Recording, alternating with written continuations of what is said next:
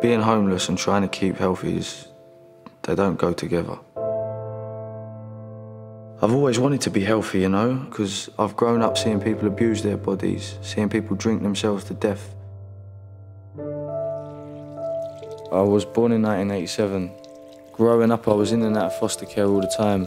One house, another house, a different house. In year seven, that's when things really started to go wrong. I was out thieving every day. By age 15, I had 30 appearances in magistrates' court. Finally, the judge says to me, I'm not sending you back to the care of your mum because we know your mum's on crack and we know the crackheads are sending you out there to get money.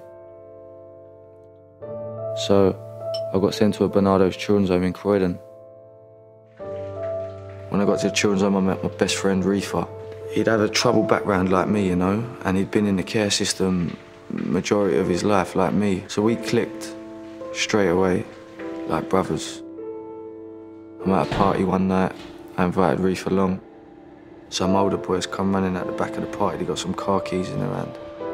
Thought I could impress the girls and impress the boys, and I took the car keys. To be honest, I don't even remember getting in the car.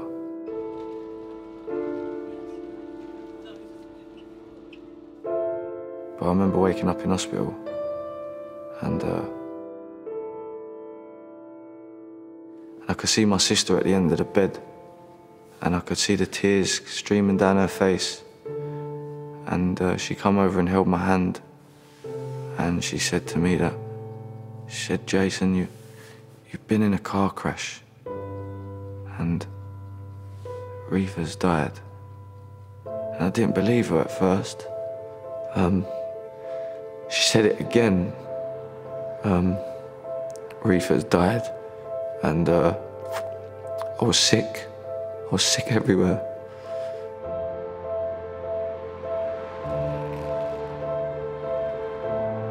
I got out of prison in uh, 2011, but I didn't really have nowhere to go.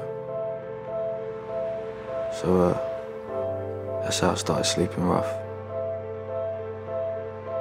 When Sam first asked me to come down to the club, he explained that he ran a, a boxing club for homeless people. When I've come down here and, and seeing what Sam was doing for them was amazing and I wanted to be a part of that straight away and I wanted to help some of the guys down here. Now, they're coming here every single week. They've got the motivation to keep coming back. They've gone out, they've got jobs. They've gone and rented themselves a flat. And I've seen it change them so much. It's heartwarming. Most boxing clubs in London, they want to charge you money to come in there uh, now. This is a boxing club that is about the people. It's about helping people. It's about hearts and minds. It's more like a family, like community proper and amazingly proud to be a part of it. I'd wish I'd fallen into boxing a lot earlier because it may have saved me from getting into as much trouble as I did as a kid.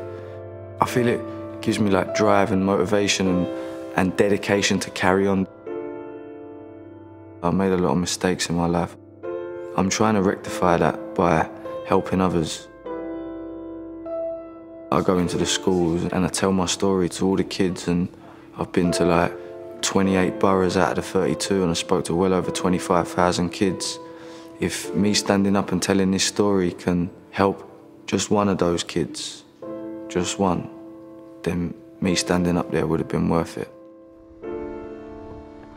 all that bad stuff that's happened to me and all the grief and, and the loss and the guilt and the pain, all of that is burning away. I'm going to continue to use that to turn all that negative into a positive. And maybe when I'm old and grey, I'll be able to say that this is how it was, this is how I turned it around, and this is what it is now.